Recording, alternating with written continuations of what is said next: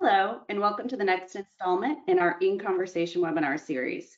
Today, we will be covering a variety of topics around the financial impact of COVID-19 and the travel industry. I'm your host, Janet Baptist, Customer Retention of FCM Americas, and I'm pleased to be joined by several of my colleagues from across the globe. Josh Robig, Vice President of Corporate Finance USA, Timothy Williams, Chief Financial Officer of Asia, Michael Sin Simon, Chief Financial Officer of Australia, and Adam Murray, Chief Financial Officer of EMEA. Before we get started, I would like to thank those who have submitted questions in advance. We have worked to incorporate many of those into our discussion today and we'll be highlighting a few towards the close of our session. Now, I would like to welcome my panel. Welcome. Let's start by looking Hello. at regional insight. What have you experienced in your market and what type of indicators are you looking for that may signify a return to travel? Let's start with you, uh, Mike. Uh, Tim. Yeah, not a problem. Thanks, Janet. Um, so, um, look, I think we all know that China was the first hit country with this, followed closely by Japan, Korea, the Philippines. So Asia as a whole, you know, really was the first wave of what we saw as this eventually reached out to be a global pandemic um, you know, as restrictions tightened, um, so did our business, and like so many, everyone had to react. So FCM, like many, had to navigate through a rapidly changing situation. Um, this included, you know, canceling of flights, refunding, rerouting people, connecting people to get home to their loved ones. But no one was going to make this, no one was going to get this 100% perfect. Um, but I think, you know, through our customer-centric approach, high touch service. It, really allowed us to repatriate and get everybody where they wanted and to work with clients to get what they needed. So where are we today? So today we're left with a very evolving situation. Um, obviously we went into this very quickly, but coming out of it is going to be much, much slower than anything uh, you know we initially expected or anything that we've you know we've been hoping for, I would say. Um, the bright spot by far is China. I think in China we've seen recovery in our domestic travel market. I think we're around about the 50% mark as of as of uh, last Friday. We're continuing to see strong growth in that that market, especially as as travelers become much more confident. Um, our other markets, however, will take time and I think that's that's really going to be very reliant on government bilateral agreements uh, markets without any domestic footprint, like Singapore, for example, which is a 100% international travel market, significant long haul traffic. We don't expect to see recovery for quite some time. Um, unless, again, those bilateral agreements are put in place, and, and there is a lot of talk of that around the world. So the first sign to return to travel is obviously the by far is the lifting of restrictions by governments. Um, the bilateral agreements coming into place, these green corridors that everybody's been talking about. Um, second, very quickly and followed by this is consumer confidence. And I think you know, in China we saw that it, it, with the lifting of restrictions, there is a there is a time lag between the lifting of restrictions, that confidence just going outside, and then the confidence to think about coming back to business and reacting and starting to travel. So um, business globally needs to stabilize first, um, and this will take time. Um, governments who have the means to stimulate recovery domestically first will also be able to then look at mechanisms and how they promote and, and develop international trade and markets. If we look at things like manufacturing and supply chain growth, you know, they're good, strong signs for economic economic growth, but we also need to be you know need to be careful on that because you know as we've seen in China and there, there was a number of articles around this there was very strong growth in manufacturing. However one of the challenges they have is they don't actually physically have buyers at the moment. And so I think as we start to see more of that evolve we need to be very careful in thinking about you know what are true signs of that recovery versus what are those sort of shorts those short signs that potentially could be misleading Great. Mike, are you seeing the same um, coming down to Australia region? Yeah, uh, we, we are. Um, I think Timothy's hit the nail on the head. Um, well, from our side, we've seen obviously uh, domestic travel shut down entirely. Uh, when I say entirely, though, we still have a little bit of uh, of, of uh, sales going through. I think we're down 98% uh, um, across across the region in terms of sales for for domestic. Um, uh, but our corporate business, funny enough, is actually still ticking over. We're uh, we're still seeing strong strong mining companies still flying, um, although they're not necessarily flying on scheduled flights with Qantas or, or, or well, not Virgin anymore. But with Qantas, they're actually booking a lot of charters outside. Of of the of the um, scheduled carriers. Uh, and our corporate business at this stage is still booking is fa well fairly healthy at about 15% um, uh, up, uh, or sorry, it's not 15% up, 85% down. We call it 15% up. Um, but uh, signs for us in terms of a recovery, very similar to what Tim was saying. Um, we, we, are following China and, and, and other countries. Um, we're about two two weeks behind, two to three weeks behind. So uh, or lag from from the other countries. Um, and when um, so we, we, we, track that. We're also looking not necessarily just at other countries. We do look at um, at our suppliers. Uh, and we're starting to see now in Australia the suppliers uh, like Qantas, for instance, are starting to put flights on from July onwards, um, and that's a good sign uh, in terms of uh, in terms of recovery.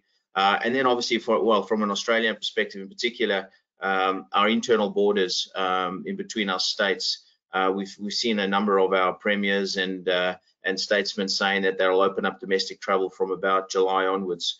So uh, that's a good sign for domestic travel, not necessarily any signs yet for international travel. But uh, yeah, it's uh, it, it, it, hasn't been easy. That's great, um, Adam. Moving over in the natural progression of the world um, into your region, how did how did you start to see things affect your your business, um, and what are you looking for for recovery? Yeah, I think I think we're just slightly further behind yet again that that natural curve that we're seeing. Um, but, we've been in a situation now where it is pretty much a complete lockdown from a an international and domestic situation. Um, although we are now starting to see that, as as Mike's mentioned, we've got we've got certain carriers who are, are putting on flights, and some of these graphs talk to this. You see capacity coming back into the marketplace although we need to temper, I think, some of that optimism in that we're still going to be very much dictated by by governments and their quarantine rules. So the UK has stipulated a 14-day isolation rule for anyone returning back to the UK. So that makes short short trips pretty much now on impossible from a practical sense. Um, so that is a little bit of a concern, but we're definitely seeing capacity going into the market. And we're also seeing a lot of mainland European destinations wanting to open up. So people, to some degree, are getting quite excited about the idea of actually enjoying some summer holidays this year, which I think a few weeks ago was, was probably completely dismissed. But again, some of these quarantine rules, until we start opening up, as Tim talks talks to around bilateral agreements, I think there's still also going to be a certain amount of consumer nervousness as well um, around that. So I think it'll be slow. I think for for Europe and especially the UK as a whole, so much of our of our business and our activity is international travel. Um, so we will we would expect to see like everyone else domestic returning quicker. Um, but I don't think that will have such a big an impact on if I look at our business compared to say domestic travel for for Mike in Australia.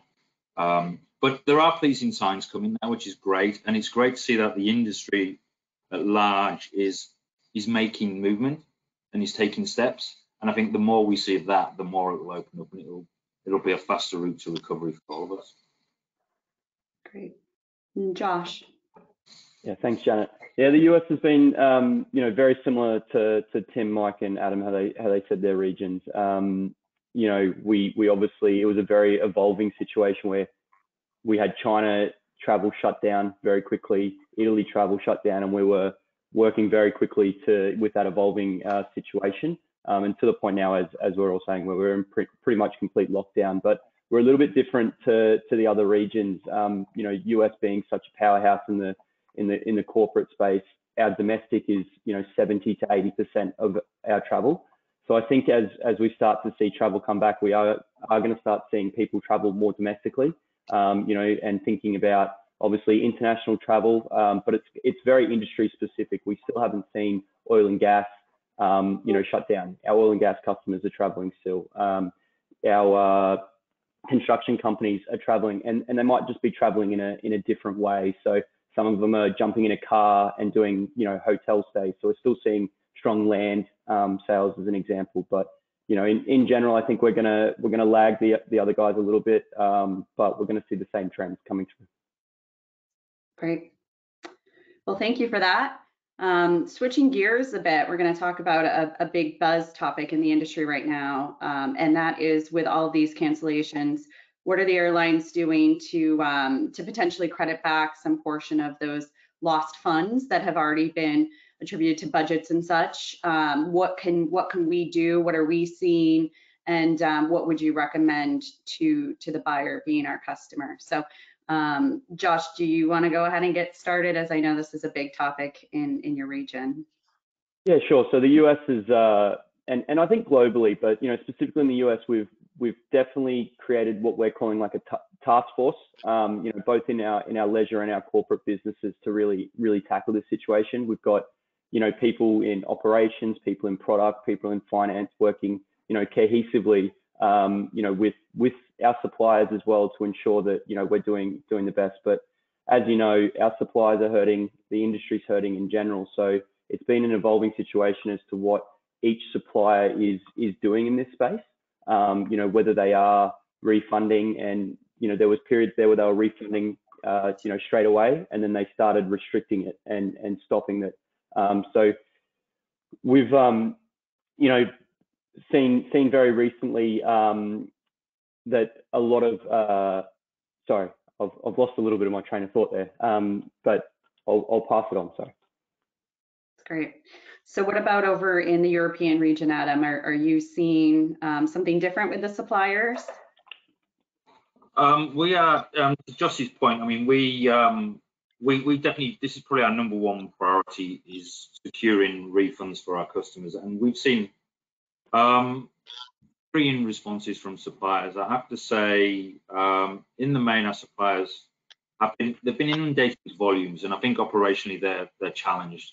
That's fair to say. So I don't think it's a, um, an unwillingness to provide refunds necessarily, but from a practical point of view, they are finding it quite challenging. So we've we've ramped up our resources to help with that.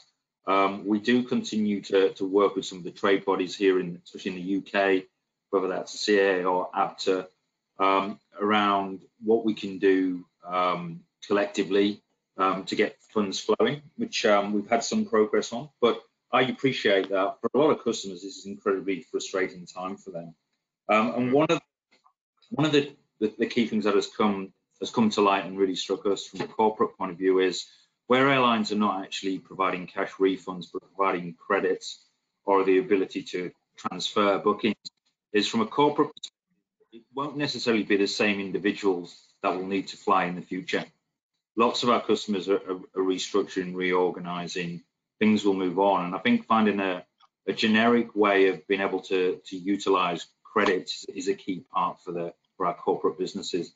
Um, I'm not sure if, if you've seen that as well, Josh, in the States.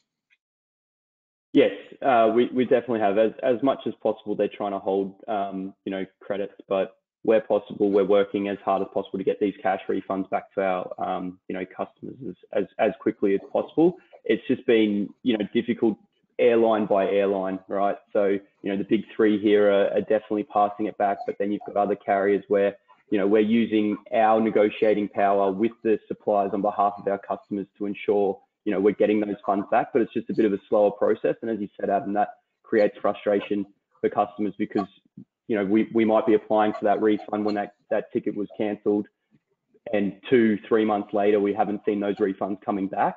Um, and so we're, we're trying to really make sure customers are aware that we are acting on your behalf. We, we are trying to get these, um, you know, this cash back to you, but it, it is difficult because we've also got, you know, fiscal responsibility to our company where we don't want to be, you know, passing funds back where we don't actually have the funds.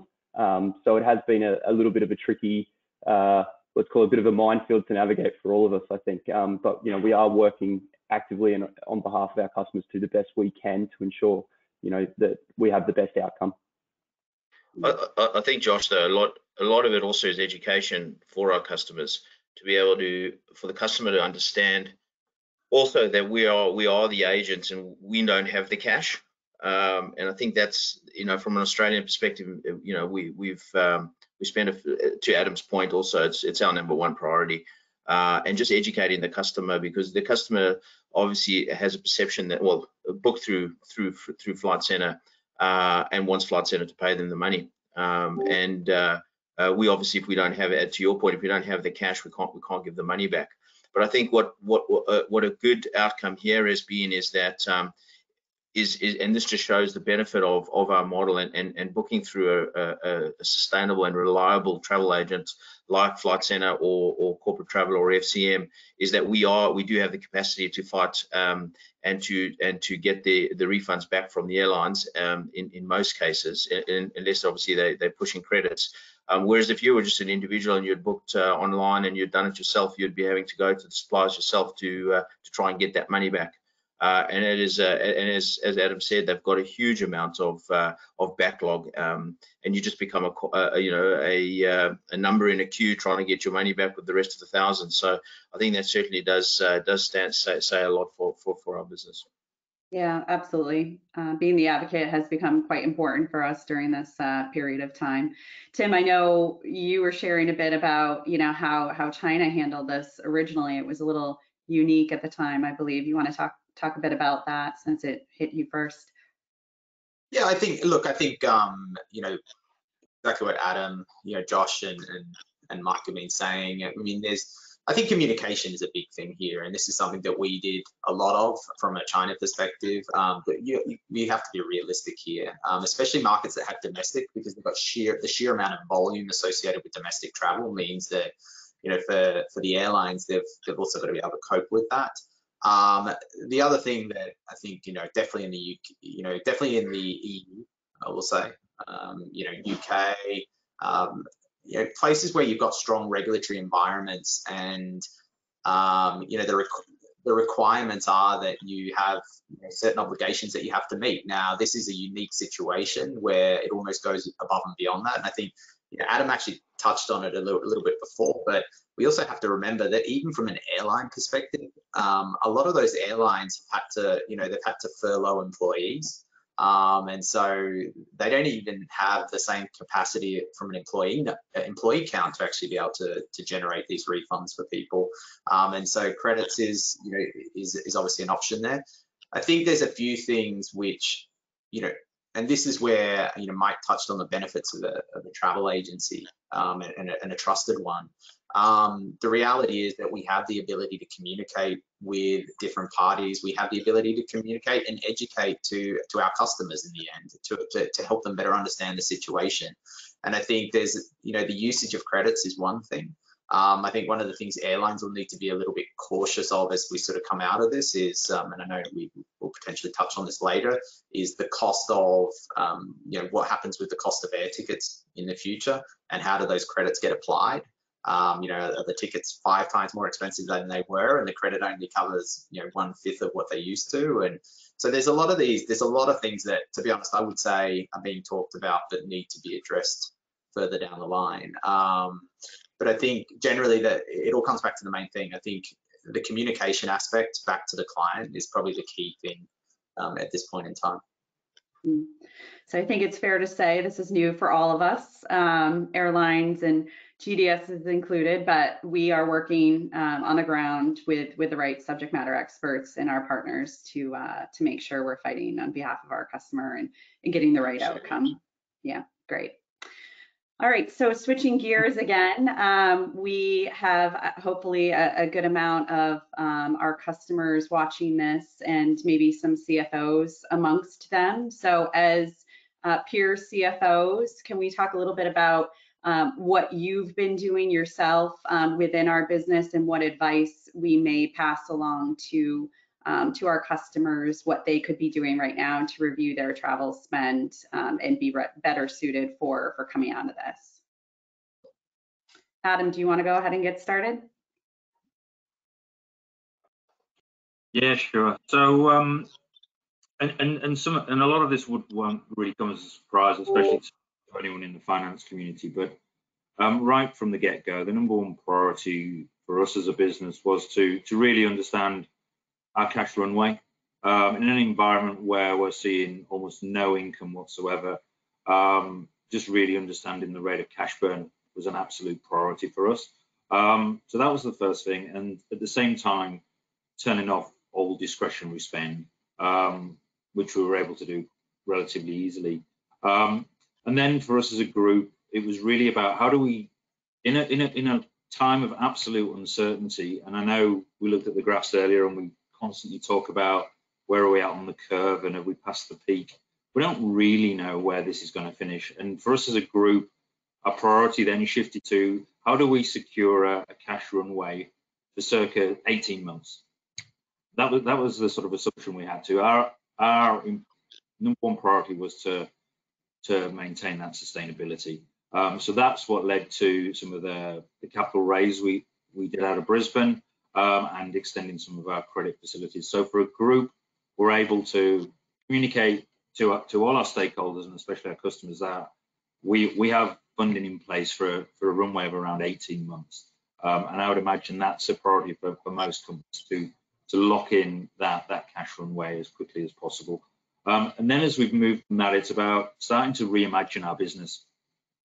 Um, as we work through a period of hibernation where we've got very little trade, our focus shifts to reimagining what our business can look like as we come out of hibernation, and then which parts of our business do we prioritize um, to come back. So those would be all the traditional metrics around profitability, ability to generate cash, um, those functions which provide the best return.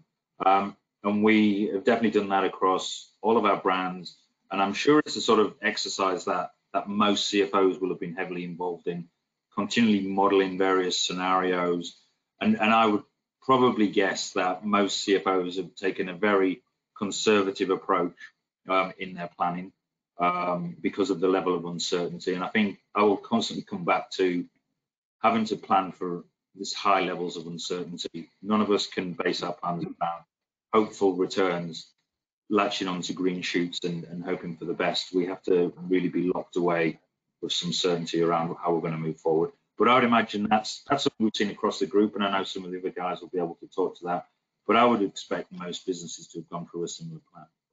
Mm. Mike, you're very um, close to it all in the heart, uh, being in Australia, our home country. So I'm sure um, you've had quite a few discussions with our senior leadership team and can probably share some some great advice. Yeah, uh, you know, Adams Adams um, explained it fairly well in terms of how we uh, we as an organization had to move into hibernation phase and we had to move into that very quickly. Um, and with that has come some really tough decisions and uh, you know we've had to uh, across the various regions stand people down and and shrink to a workforce that uh, that is really just uh, a, a, shell that, that can keep you know keep the lights on. Um, I think though what it what it uh, has done for us as an organisation, and certainly what I, what we're talking about in Brisbane and uh, and, and uh, with our, our, senior leaders is that's given us an incredible opportunity to reshape and rebuild our business um, into uh, even a bigger and better business. Um, you know, we've managed to, we're looking at old habits, old models um, that we've, uh, and, and, legacy models that we've uh, always wanted to change, always wanted to move. Um, and we knew that, uh, that it would take a, a, large amount of effort to do. Here we have an opportunity where we've basically come down to a grinding halt and we've, uh, and we can rebuild the, the, rebuild this business. So when, when Adam's talking about the reimagine phase, um, it's incredibly uh, it's incredibly invigorating to to to be in this position and uh, and we're fortunate enough to be able to rebuild and, and as I say come out stronger. But it's not just going to be, and I think this is quite critical. It's not just going to go from hibernation into rebuild into this new world. Um, there's going to be a long transition period. Uh, it's going to take us some time to get there, and uh, we as as as as a management team and CFOs alike um, need to be uh, extra mindful in terms of how we come out of hibernation and we just don't go back to our old ways and start spending money and uh, uh, and, and, and forming to what we used to know and what we used to do. Um, you know, it's going to be an entirely a different world going forward. And um, I think this transition period is, you know, to Adam's point, it's probably going to be 12 to 18 months before we genuinely uh, come back. So uh, we, we see in here in Brisbane as an exceptional opportunity, and we're very excited about it actually um, to to to get to get rebuilding. Yeah, that's great advice. I think all of us need to take this as a, a, lesson of what's positive from from where we're at and what was positive before and what the new positive will, will be and bring it all together to hopefully um, be in a better position for, for us. Um, Tim and Josh, anything additional from your areas?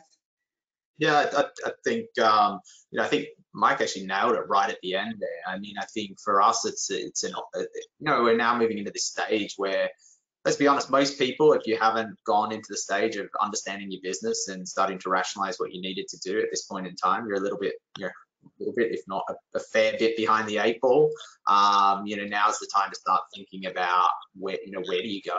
Where, where, how do you come out of this eventually and do it in a smart way? And then how do you start to capture opportunities as you move forward? And, you know, not, we, got, we also have to understand not every single industry is in the same situation. There are industries that aren't, you know, obviously aren't hurting as much as others, but um, but generally, I mean, when you look at travel and travel as a means to really ignite um, commercial growth for you as a company, I mean, that doesn't exist, right? I mean, it doesn't exist today, and so people have to be smart about other things.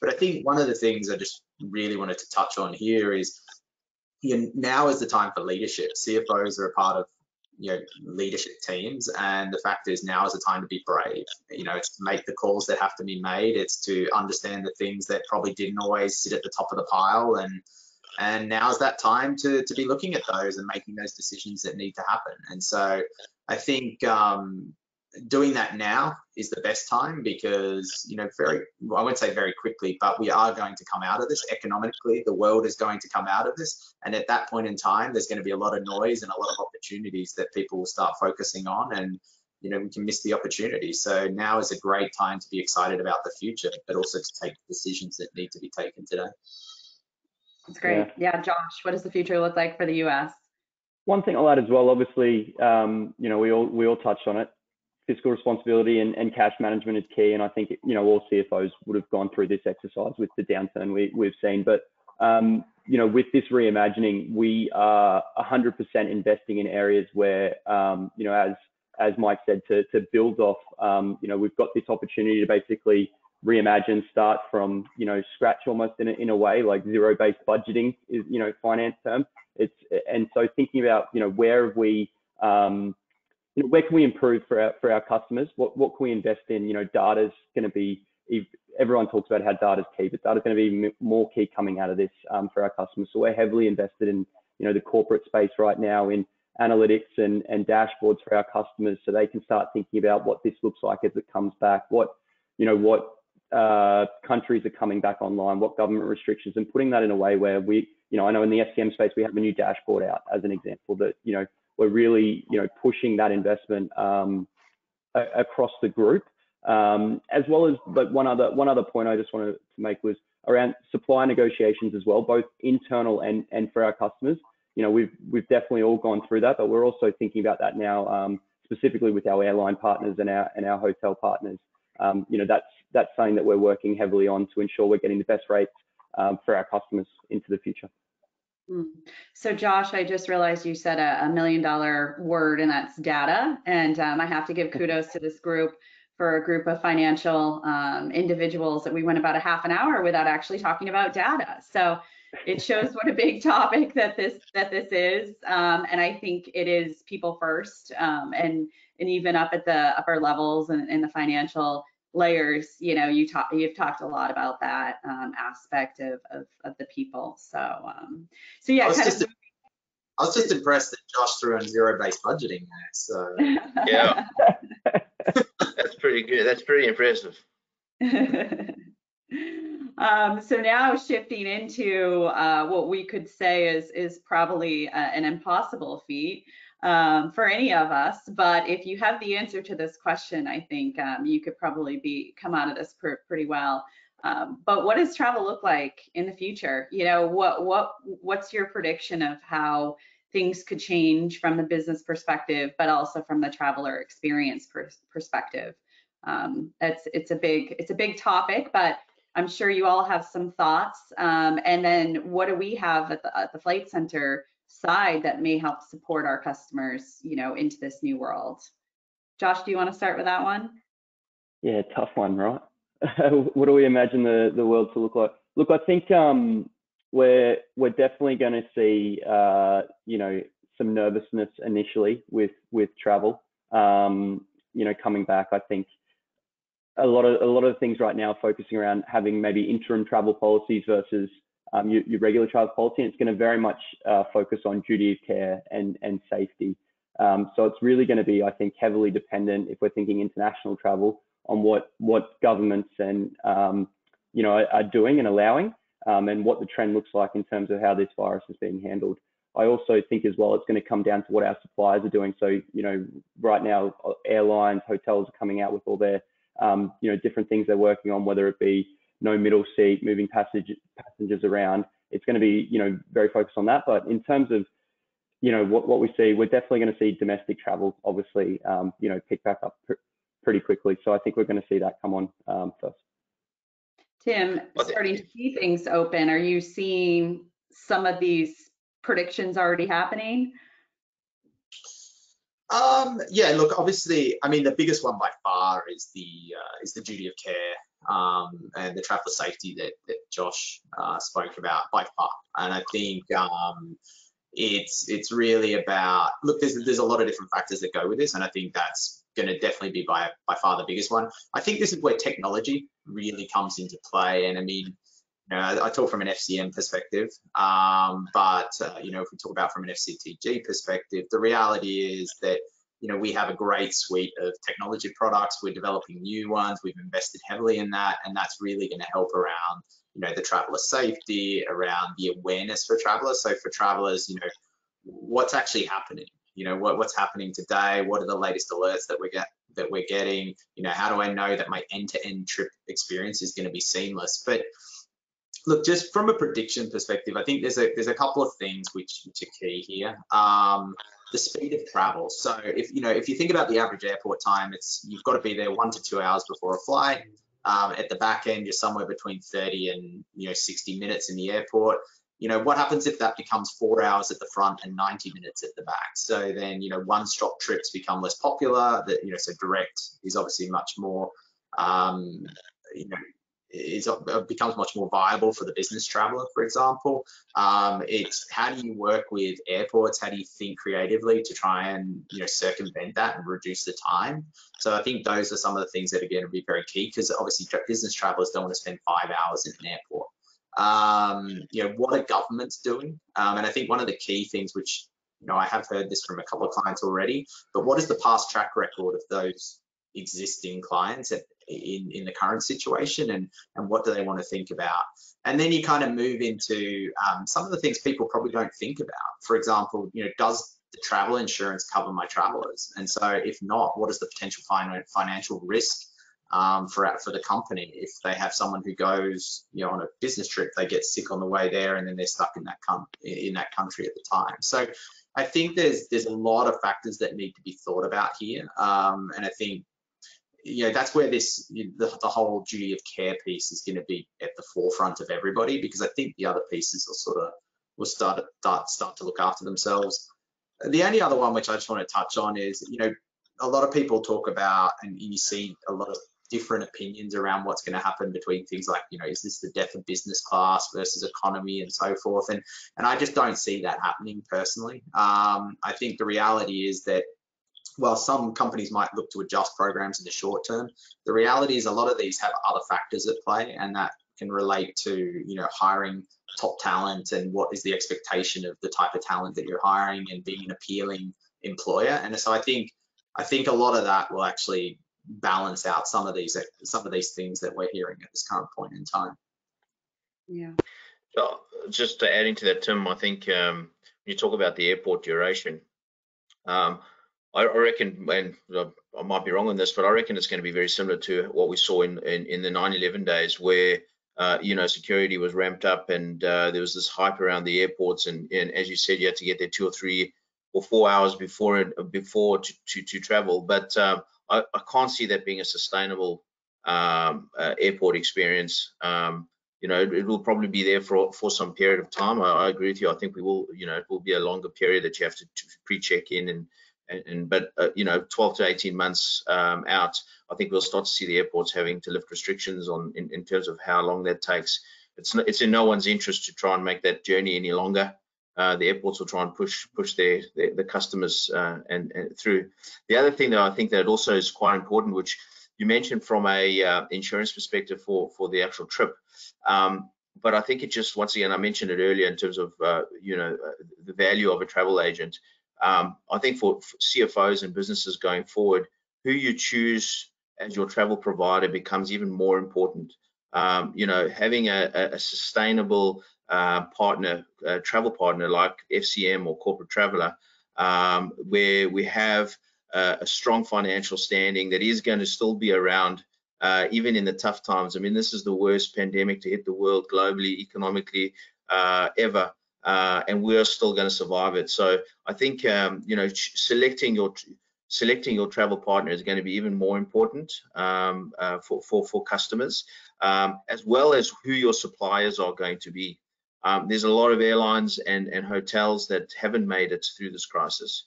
Uh, we've got one in, in, in Australia alone, Virgin, who's, who's struggling. Uh, we've seen SAA in South Africa. We've seen Mauritius Air. We've seen Thai, Thai Airways. Um, you know, there's there's a lot of suppliers that are struggling, um, and I think the the way and how we select who we partner with going forward is also going to be very different, and we need to be careful about that as not only as as travel retailers, but um, also I, I, would caution our customers to to make sure that they select the right um, the right travel provider. And obviously, big fan of FCM and Corporate Travellers, so obviously that, that would be us. But um, yeah, I think that's going to be different. Yeah, great. Adam? Yeah, a little bit to, to Mike's point. I think we, sh we shouldn't really underestimate the shock impact that, that this pandemic has had on, on us as an industry. And I think we will definitely see, I mean, a lot of people are, are struggling, and even though they may survive this, they probably won't come out of it in a particularly strong space. So I would expect to see far greater consolidation of the marketplace, especially um, in corporate. I think if I look at the UK, it's still incredibly fragmented market, but um, I just don't see how that's going to be sustainable going forward. So unfortunately, I think um, size is going to become more and more important, and I think we're, we're very well placed as, as, a global entity to um, take advantage of that. So there will be opportunities for us. And I think the other thing that's going to really change is, and this has been talked about a lot in, in, in the UK and in Europe around consumer protection. And I think what we've seen here and back to the, we discussed in, depth around refunds and, and, that situation for consumers, there will there'll need to be a, re, a complete rethink, I believe, of just supply chain finance um, throughout the industry and, and what are the best metrics for being able to provide that protection for our consumers. Um, the, the Civil Aviation Authority in the UK previously operated a, a fund, which, to be honest, was completely wiped out with uh, the collapse of Thomas Cook, and, and so so their coffers are particularly empty. I know there's a lot of talk of, of trying to establish trust accounts for most leisure businesses, um, which will put a significant demand on working capital for um, for a lot of businesses. Um, but there'll be a lot of lot of debate, and I think definitely in the UK, the the consumer piece is uh, at the forefront of everyone's thinking here. So I do expect it to be quite a bit of regulatory change in what's already a, a pretty highly regulated market for us. Yeah, I think Adam, you, you touch on something that's really important there. And uh, you know, I think when you look at some of the other industries out there who are very highly regulated, um, or have seen significant regulatory change in the last, you know, let's say decade, just governments need to be a little bit careful there not to stifle the industry um, and make sure that you know in effect there's so much regu regulation on it that it can't it, it, can't grow out of it. And i think that's something where you know the likes of, of major travel agencies major travel management companies like uh, flight centre travel group and you know can work with those with with those regulators to really help shape that so that the industry can flourish but and it doesn't end up you know stifling growth so that we're sitting here in five years with, you know, still trying to come out of it. That's Great. So we have received a few questions, so we'll um, transition into those. So we did touch upon quite a few of, of the questions that we had during the um, during the session, but um, an additional question that came through is in regards to hotel and plane costs. So do we expect the cost to skyrocket due to uh, reduced capacity, at least in the short term, um, and the additional spending that the suppliers need to go through to, to ensure the cleanliness? Yeah, maybe I'll just jump in first and, and then Mike, I might flip it to you because I think you're seeing something similar off the back of ours, but I'll talk about China as an experience. So in China, when we look at the, you know, when we look at the price of tickets, you know, they were significantly lower than normal um, to begin with, but we have seen that starting to creep up um, back to more normal levels as obviously as traffic grows. And I think that's what I think generally most markets will probably see that there'll be sort of this this push to try and get something moving um, and to attract people to come and, and want to fly. And then from there, you know, I think we'll start to see that growth. Um, yeah, sorry, you'll start to see the price of tickets starting to increase and so forth. I think the longer term um, view is look, it's a very, very competitive landscape, um, especially when you look at air, you know, when you, we talk about airlines. So I appreciate that we might be talking about sort of reduced capacity or we might be talking about increased costs and so forth. But the reality is, I think I think over the longer term, I think the general supply and demand nature of what happens will probably keep some of that in check. Um, but obviously, we're very early days, and we'll have to see where that where that starts to to, to turn turn towards. Yeah, 100%. I think you're you're um, you're right there, Tim. You'll see the airline; they have to stimulate demand. They have to get the customer back uh, and uh, get over this period of anxiety in terms of flying. So you'll see uh, you'll see air prices fairly low. But at the at that being said, you know, based on most airlines' business models is based on volume, um, and they you know they make very small margins on their on their flights, um, and they have to be selling a large amount of seats um, and volumes and flying their metal 10, 12 hours a day in order to make uh, any decent money. So uh, I agree with you. I think uh, we'll probably see it fairly fairly low for a while, and then it'll creep up. Um, in Oz, in particular, what will be interesting to see is is what happens with Virgin. Uh, you know, we only have two. Well, we have two major airlines, Virgin and and Qantas, and Virgin's gone into administration at the moment. Um, and uh, I, I, I, suspect Virgin will have an investor and, and, and come out of this. But if they don't, uh, it'll be a really interesting landscape with Qantas being the only airline um, providing travel uh, well, the only major airline pro providing travel within Australia. So then we'll see prices really skyrocket because they'll have a monopoly. But um, let's not let's not uh, count our chickens before they hatch. Let's see what see what happens with Virgin. Right. And our next question is in regard in, in, regards to travel policy. So, are we reviewing our own internal travel policy? And as CFOs, what role may you be playing? Do you want me to go? Yeah, Look, we, we definitely are um, reviewing our uh, internal policies, you know, quite um, quite closely. As I said, um, and we, we touched on before, it, it's going to be heavy around, you know, duty of care, um, you know, to, to start with. But we definitely don't want, um, you know, our, our travelers going going anywhere that, you know, we don't want them to go, that, you know, that puts them at risk. Um, also, whether they don't feel comfortable um, but it's going to be heavily customer focused for us, probably to begin with. I think we've all learned pretty quickly that um, whilst it's not the best, and, and we, we do want that human interaction that um, you know Zoom has, or, or Teams or whatever you're using at the moment has has been an effective mechanism to to still keep in touch, have those business meetings. Um, but we're definitely going to have a have a customer forward um, mindset with our travel policy to begin with. So whether that um, you know we, we have a saying, win amaze, retain in, in the corporate business here in the US. So it's definitely around um, working with our customers, um, you know, from a retention perspective, working with them to, you know, discuss now as we've uh, spoken about on negotiating their rates, right? Working with suppliers, things like that, working very closely with them on their travel policies um, before we sort of move to internal travel and, um, you know, having those meetings together.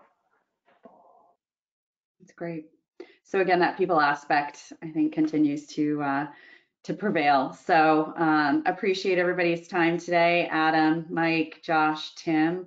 Hopefully, everybody uh, watching along gained some interesting tidbits and insight into everything COVID as it affects the, the travel industry from a financial perspective.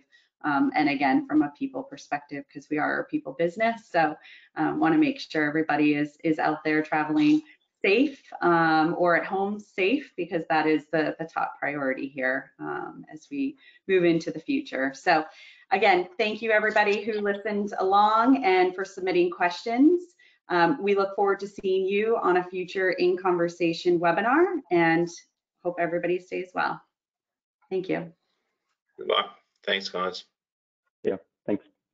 Yeah.